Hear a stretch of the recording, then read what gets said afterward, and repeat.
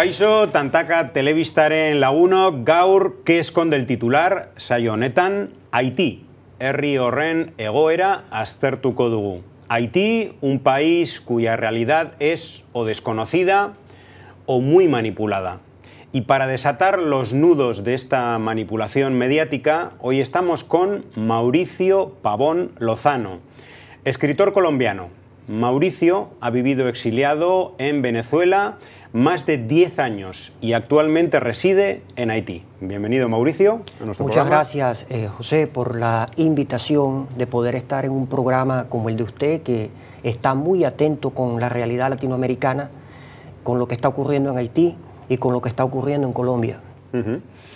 Bueno, vamos a leer algunos titulares. Haitianos protestan contra la supuesta corrupción de Petrocaribe. Haití, ¿qué tienen que ver Venezuela y Petrocaribe con las protestas que dejaron varios muertos en el país caribeño? Eh, me, gustaría, me gustaría que me dijeras, ¿por qué se mezcla el asunto de Petrocaribe en, las protestas o por qué resaltan los medios de comunicación eh, protestas porque supuestamente el gobierno o dentro del gobierno hay casos claros de corrupción en relación a unos, digamos, a un, suministro de petróleo que procede de Venezuela. Es muy importante lo que usted está diciendo porque en realidad Petrocaribe, a ver, vamos a, vamos a, vamos a comenzar por el principio. ¿Qué es Petrocaribe? Bueno, quiero decirle, a ver, Petrocaribe es evidentemente un proyecto solidario. Es decir, dentro de la, dentro de la lógica del mercado, es decir, eh, yo te vendo petróleo pero me lo pagas al precio internacional, es decir, una relación totalmente normal y aceptable. Sin embargo, países como Haití, que son países con dificultades, eh, evidentemente, pues esto hay que decirlo, esto viene de la política, de la política exterior diseñada por el, expresidente Hugo Chávez Frías, preocupado por el tema social de Haití. Haití es un país con serias dificultades económicas, no tiene cómo pagarlo al precio internacional. Entonces, es un acto totalmente solidario, es decir, suministrar petróleo para, para mejorar eh, carreteras, autopistas. Usted sabe, el petróleo no es solamente gasolina, el petróleo tiene una, está la petroquímica.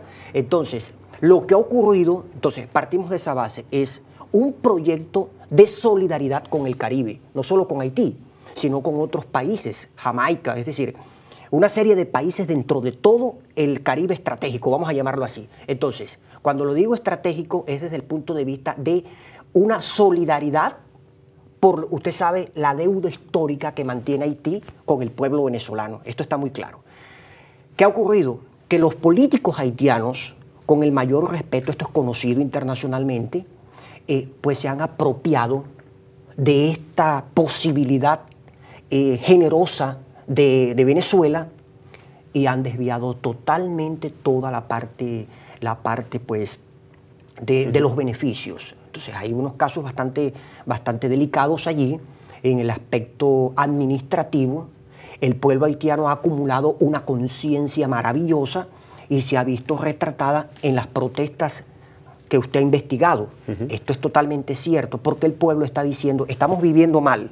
¿Dónde exactamente están los beneficios? Porque también el, el proyecto de Petrocaribe es para mejorar la calidad de vida del pueblo haitiano. Esto no se ha visto. Entonces, la parte que está controlando el país en este momento, con los países que están monitoreando realmente lo que está ocurriendo en el Palacio de Gobierno de Puerto Príncipe, pues simplemente guardan silencio. Hay como una sociedad allí bastante eh, mm, eh, comprensiva y de protección. Cuando le digo protección es presentar fuerzas armadas extranjeras dentro del territorio haitiano para proteger la clase que está gobernando Haití.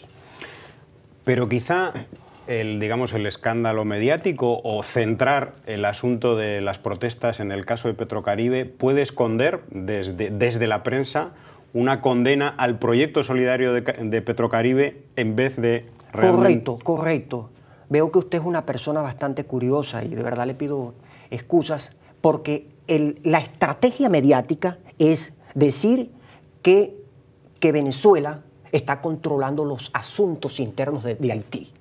Entonces, esto, esto, es totalmente, esto es totalmente falso, porque Venezuela, claro, yo no estoy defendiendo acá una posición, simplemente las cosas hay que mirarlas como son. Y la realidad de esto es que la cooperación de Venezuela no tiene nada que ver con los asuntos internos de Haití, como sí lo están haciendo las potencias occidentales, que sí tienen los dientes bien incrustados dentro de la política interior haitiana. Claro, como le digo al comienzo, esto es un asunto que deben atenderlo los propios haitianos, pero no es cierto que Venezuela está utilizando a Petrocaribe para controlar a los políticos haitianos, José. Esto es totalmente desvirtuado, porque justamente si llevamos la situación a ese nivel, los políticos haitianos no hubieran aceptado la solidaridad que viene, bueno, desde la primera administración del presidente Chávez.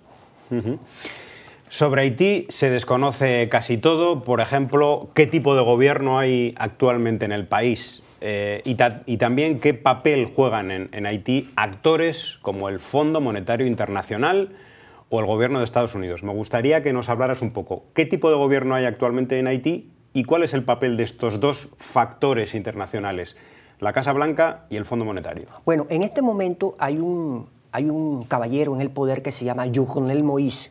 Es un, es un agrónomo, un hombre muy joven, es un empresario del banano, eh, un hombre pues bastante reservado, pero es bien visto por Washington, bien visto por las potencias occidentales lo proyectaron, él es una persona que viene de las filas del anterior jefe de Estado, que es Martelly, un músico profesional con mucho éxito en la parte musical, eh, muy popular dentro de Haití, pues utilizó muy bien su popularidad y logró abrirse eh, campo político, tuvo financiamiento, eh, como le digo, eh, Haití es un país eh, que la política exterior no es diseñada en casa, ni la interior. Entonces, pues han proyectado a este caballero, Martelly, que le digo, el anterior jefe de Estado, por cierto, en este momento involucrado en importantes líos de carácter administrativo desde el punto de vista del manejo, del manejo presupuestario. Y bueno, él propone a este caballero, que es el que está actualmente gobernando el país, que se llama Journel Moïse, más joven, por supuesto, y bueno, está este caballero en, allí, en el poder actualmente, y evidentemente pues él, Haití no tiene un proyecto, un proyecto nacional como tal diseñado en casa. Es decir, eh, simplemente pues un caballero que está allí, un caballero, un caballero que, que realmente pues eh, es controlado desde afuera. Esto es algo pues, que se conoce dentro de Haití, incluso en la República Dominicana todos lo saben, esto no es un secreto. Por eso le digo, yo vivo en Haití, pero claro, yo estoy pues, haciendo investigaciones, pero me doy cuenta de lo que está ocurriendo. Pues el caballero le dice, mire, ¿dónde está el dinero de Petrocaribe? No, no, yo tengo que hablar con la comunidad internacional. Y la comunidad internacional es Chile, que tiene intereses entre Haití. La comunidad internacional es Estados Unidos, que tiene intereses en Haití hace 200 años. Y por supuesto, otras potencias occidentales que tienen tienen los ojos muy bien fijos en Haití, porque como usted sabe, Haití es un país estratégico desde el punto de vista de la geopolítica. Pero es muy cierto lo que usted apunta, inevitablemente, y por supuesto está el Fondo Monetario Internacional, que es el aparato económico que eh, coloca allí unos cuantos dólares para decir que todo está bien, que en Haití no está ocurriendo absolutamente nada, cuando es una de las crisis más graves que pueden existir prácticamente en América. La imagen que nos llega sobre las protestas sociales en Haití es siempre caótica. Pero ¿realmente existe un movimiento popular organizado en el país? Y sobre todo, Mauricio, ¿existe una alternativa al actual estado de cosas? ¿Cómo, es, ¿Cómo, es, el movimiento social y popular en Haití? Correcto. Como le decía en, una de las preguntas, de las primeras preguntas, José, mire, Haití, eh, yo creo que a veces el sufrimiento, el dolor hace que los pueblos tomen una conciencia eh, maravillosa. Haití, producto de todo lo que ha ocurrido en el siglo XX, en lo que va de este, eh, pues es un pueblo que ha sufrido, pero ha acumulado eh, una capacidad de reivindicativa, una capacidad, se puede decir, que, de, inconformidad, una, una capacidad contestataria, totalmente contestataria.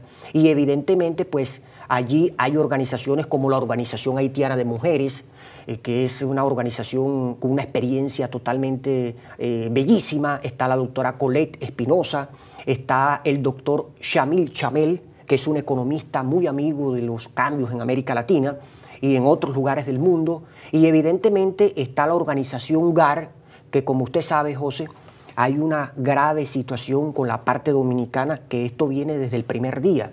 Es decir, eh, pues como se sabe, Haití, empujado por supuesto por la comunidad internacional, pues tiene dificultades con, con la parte dominicana. Ellos han tenido pues un conflicto que es muy parecido, claro, este, este, este conflicto es inyectado por la vitamina del odio, como lo que ocurre por supuesto en Colombia con la hermana Venezuela y con lo que ocurre por supuesto en el cono sur y en otros lugares del mundo, es decir, la política aquella pues de dividir. Mauricio estuvo en Venezuela como centenares de miles de colombianos y colombianas exiliado. Me gustaría saber, Mauricio, ¿por qué sales de, Colombia? Bueno, evidentemente eh, eh, es bastante, bastante interesante lo que usted me pregunta, porque en realidad muy poco me preguntan ese hecho. Y en realidad, pues le digo humildemente, José, eh, yo pues con toda la humildad del caso vengo con vengo la, la actividad de la, de la lucha estudiantil. Yo soy del Caribe colombiano, particularmente de un municipio muy pequeño, por cierto, 50 mil habitantes, que se llama Agustín Codazzi Cesar. Esto está a 40 minutos de Valledupar. Y bueno, yo estuve allí eh, en la parte, pues trabajando con, con los estudiantes. En mi bachillerato, le estoy hablando del año 2002, en ese momento estaban los paramilitares bajo la figura de un caballero pues, que, que se llama Jorge 40, un hombre de formación militar, hijo de una de las familias más adineradas, más ricas de Valledupar y de los ganaderos, de los agricultores ricos y por supuesto pues de la agroindustria eh, que se ha desarrollado en el departamento del Cesar. Pues comenzamos con la, con la actividad estudiantil, las reivindicaciones estudiantiles, pues evidentemente yo, yo me, identifiqué con lo que estaba ocurriendo en otras regiones del país y por la brutalidad que estaban presentando pues eh, el inicio del, gobierno pues, de, este caballero llamado Uribe. Entonces, evidentemente, la represión fue brutal, comenzaron a asesinar, comenzaron a, sacar uñas, a torturar, comenzaron a matar y comenzaron a perseguir.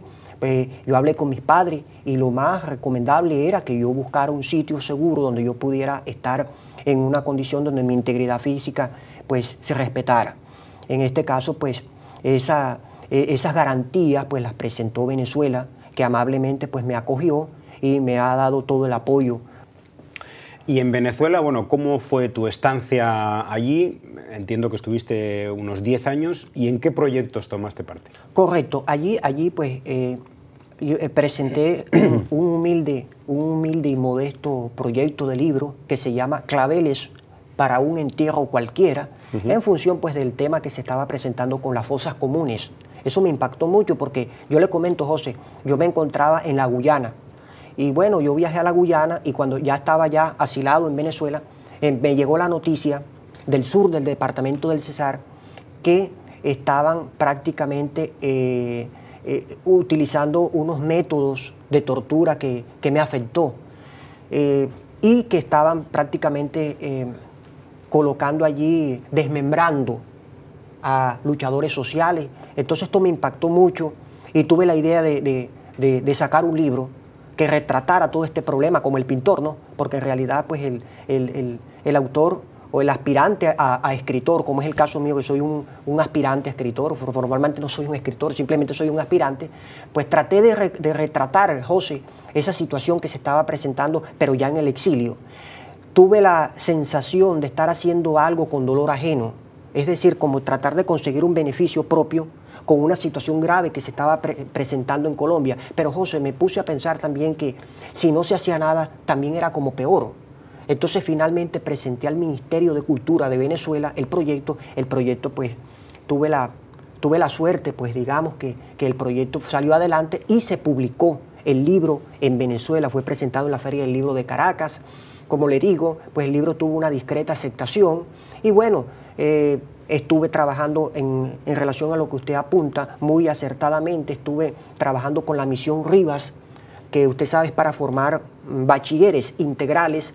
Eh, me incorporé a esta misión. También es, una de las misiones sociales del gobierno de Venezuela con asesoría de Cuba, ¿verdad? Correcto, correcto. Y al mismo tiempo también estuve en el proyecto, un proyecto que es bellísimo y creo que es una de las experiencias más tiernas de América Latina es formar niños escritores.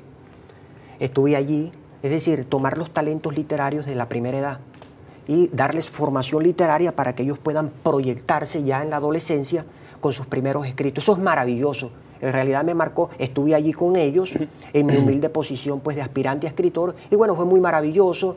Eh, me hago pues también pues estuve eh, en la universidad pues haciendo, haciendo pues algunos, algunos estudios, pues, pues obtuve humildemente pues la, licenciatura ya en la parte jurídica, pero bueno, de todas maneras pues ya ese es otro tema, pero en realidad estuve involucrado con la misión Rivas, pues que la, parte, la parte cubana, pues Cuba siempre amable, pues estuvo allí brindando el acompañamiento. La gran prensa nos habla de una gran emigración venezolana a Colombia. Te leo este titular. Con los venezolanos, Colombia vive la más grave crisis migratoria.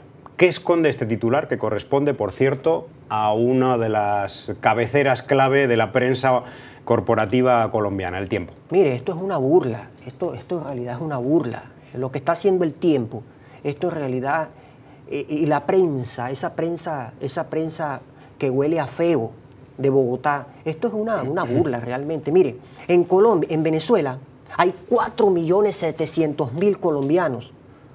¿Y, qué, ha hecho, qué ha hecho Venezuela? Venezuela les ha garantizado salud, les ha garantizado educación, les ha garantizado bienestar, que no se tuvo en Colombia. Entonces, ¿por qué la prensa no hace ninguna referencia de esta situación?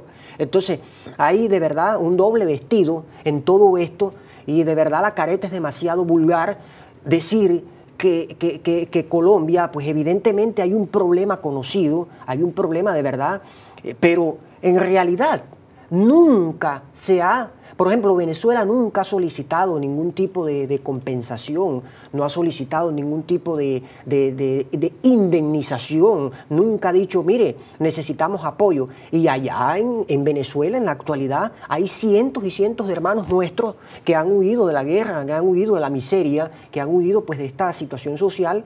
Entonces, esto es un manejo realmente para atacar a Venezuela. Eso es simplemente, yo de verdad le digo, José, esto no lo digo yo para, para, para, tratar de defender a nadie, simplemente lo comento porque es la realidad. Es decir, hay una campaña, hay una campaña que es cierta en contra de Venezuela y esto es visto. Así que estos titulares de verdad lo que hacen es simplemente pues acatar simplemente pues eh, una política que ha sido diseñada en contra de Venezuela.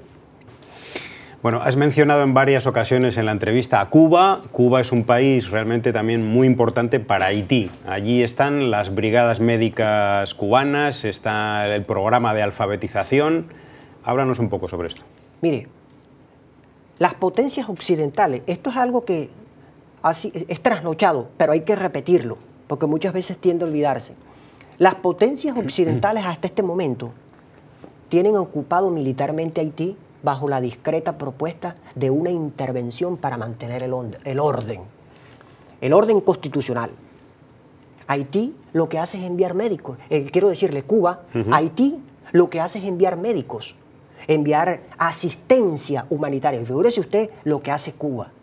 Y evidentemente las brigadas están allí, están brindando asistencia, porque el problema haitiano, entre otros, es un problema sanitario. Es decir, quiero decirle en este aspecto, y Cuba lo sabe, eh, Haití ha sido tan atropellada que se han visto casos de ensayos de enfermedades tropicales con el pueblo haitiano. Imagínese usted lo que yo le estoy diciendo. A nombre de las Naciones Unidas, es decir, han inoculado enfermedades tropicales con... Esto no se dice, porque esto no se puede decir, pero hay que decirlo, porque hay que ser serio en las cosas. Lo, y lo que han hecho es inocular enfermedades tropicales para diezmar a la población, a la población haitiana. Y Cuba lo que está haciendo es contrarrestar todo este crimen, porque es un crimen, José. Lo que se está haciendo con los haitianos es un crimen de inocular enfermedades tropicales y bueno, allí lo han venido desarrollando. Eh, las Naciones Unidas ha pedido disculpas porque han dicho que era que unos soldados defecaron en un río y esto, eh, eh, eh, por supuesto, Haití no tiene agua potable. Hemos vivido, pues yo he vivido la experiencia de cerca sin decir que yo soy una gran persona y héroe y que pasé por ese dolor. Pero, pero normalmente en Haití hay dos horas por día de, electricidad, de servicio eléctrico. Agua potable no existe.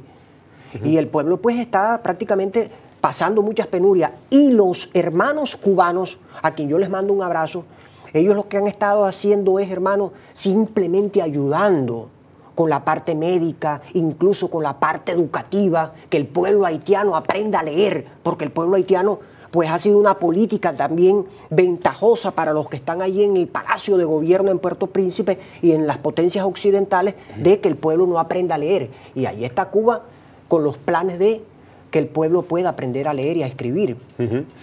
Bueno, pues muchísimas gracias Mauricio. Hoy hemos estado descubriendo qué esconde el titular, los titulares, eh, cuando la prensa corporativa se acuerda alguna vez de Haití. Y hemos repasado también la situación en otros puntos de América Latina, como Colombia o Venezuela. Es que recasco lagunok o regotegaitik, hemen tantaka telebistan, komunikabide handiek esaten ez dutena ezagutzeko aukera izango duzue. Laizter arte. Cadena, soy de cadena, es una que la forma nuestra oferta, usted controla el mando a distancia, pero el zapping esto es una democracia.